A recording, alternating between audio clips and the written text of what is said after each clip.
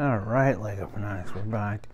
Had to search for some parts here, but um, basically I have to put together these like this. And this will go here and there.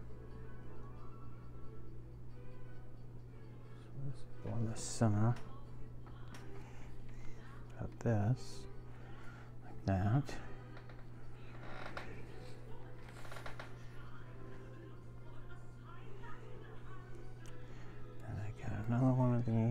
Put it here. Okay. And I will show you how I'm doing this. Okay, and then there's there. Okay. three on the back. Like this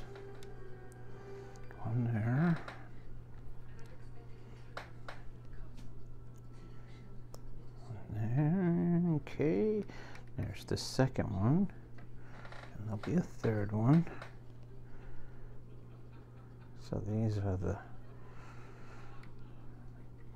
rockets that propel the engines that propel the ship through space. Okay, and then I have Oh, yeah, okay. So then these, there's two of these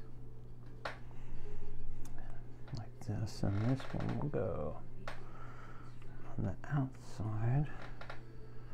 And this last one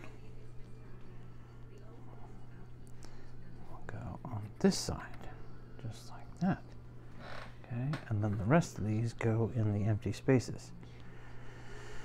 In between or around or however you want to do it. Like, pops together like that. This one goes here. You know what? I'm to do it this way because it's easier for me to do it this way. So I'm to go here. Oop. Then I'm to go here.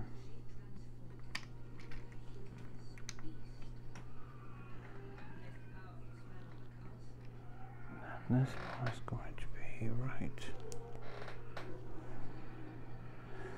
like that.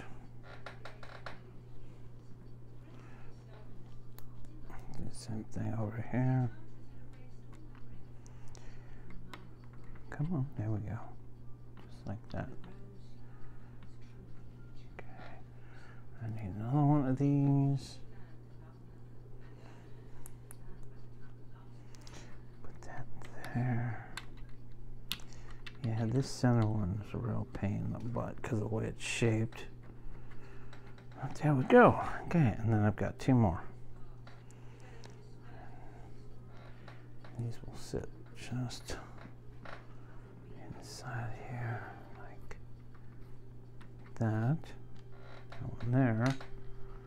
I've got another one.